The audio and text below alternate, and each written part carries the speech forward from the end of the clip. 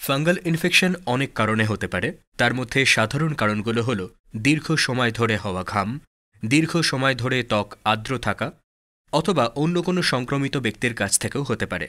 এটার থেকে মুক্তি পাওয়ার জন্য কিছু ব্যক্তিগত স্বচ্ছতা বজায় রাখুন। অন্যের ব্যক্তিগত জিনিস ব্যবহার করবেন না। অন্য কোনো সাহায্যের জন্য অনলাইন থেকে ত্বক বিশেষজ্ঞের পরামর্শ নিন।